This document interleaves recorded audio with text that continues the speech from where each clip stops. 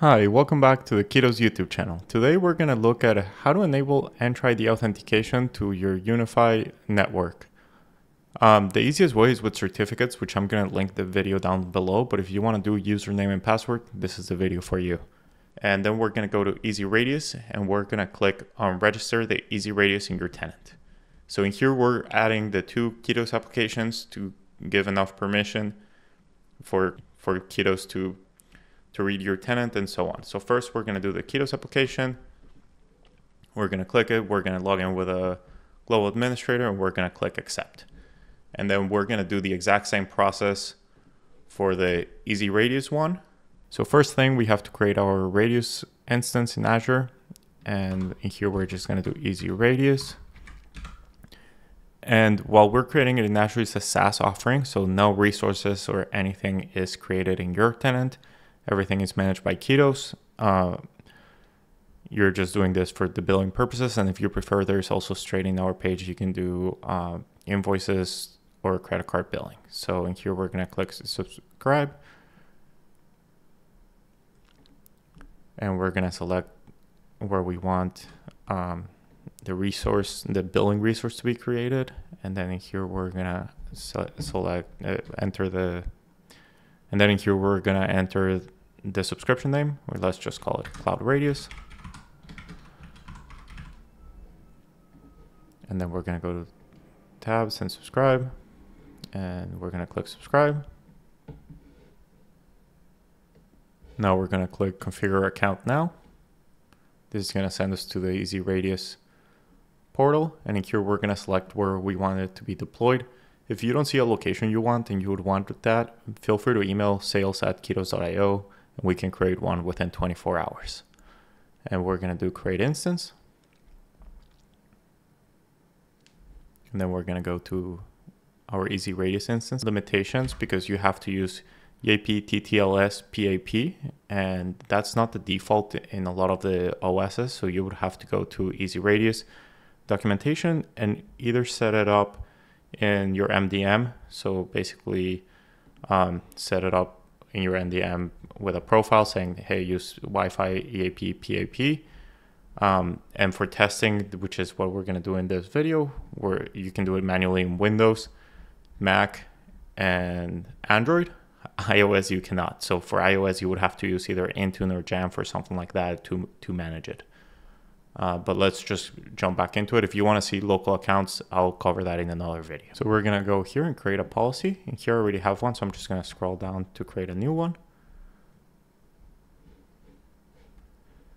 And we're going to enter the, the name. So let's just say password policy.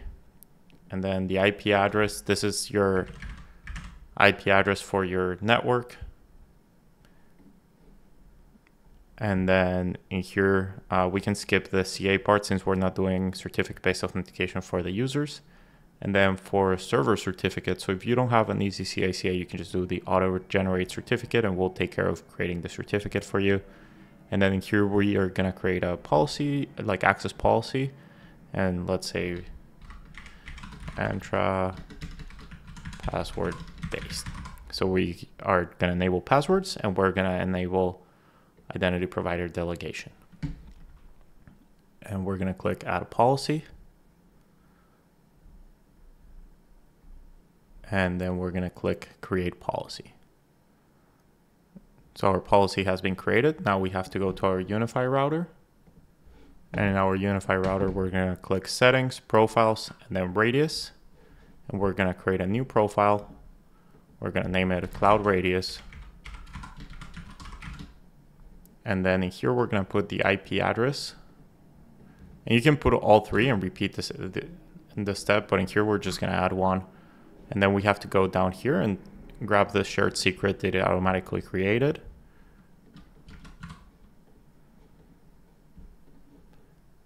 And we're going to add it. If you also want to add accounting, you can do the same. It's port 1813 instead of 12. So you would go here, enter the IP address, and then port 1813 and then the shared secret but in this case we're not going to do it Now i'm just going to do apply changes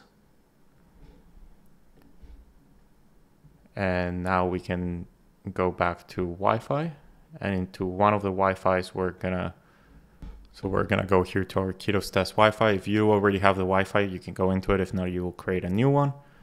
And in here we are gonna scroll down and select either WPA3 or WPA2 Enterprise. Make sure that is the Enterprise version. And then here we're gonna select the profile that we want. So in this case, it will be the Cloud Radius profile, and we're gonna do apply changes. So up until now, we have already selected the, we have already done all the Wi-Fi connection to the radio server and all that stuff. Now to test it, as I said, we have to manually say that it's EAP TLS.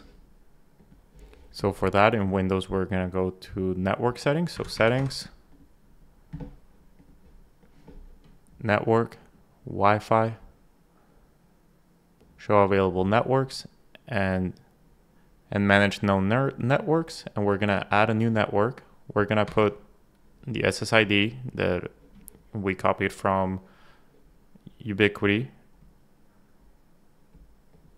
We're gonna select WPA3 Enterprise. And here we could add the server certificate just so it, it doesn't prompt us for accepting, but we're just gonna do trust and first use. And in here, we're gonna do EAP method, TTLS and then we're going to do unencrypted password PAP. And even though it says unencrypted password, it is encrypted by the tunnel of TLS, the, of EAP TTLS. So it's encrypted, unencrypted inside the, the thing. And this is what is required for Entra ID. So in here, I'm just going to click save. I'm going to go here, select the Keytos testing Wi-Fi. It's going to ask me for my username and password. So I'm going to copy my Entra ID username. And I'm gonna copy my password. And we're gonna go here click on it and it says do I want to connect? I say connect. And as simple as that I'm connected using my Entra ID username and password. Thank you for watching and we hope you enjoy this tool as much as we do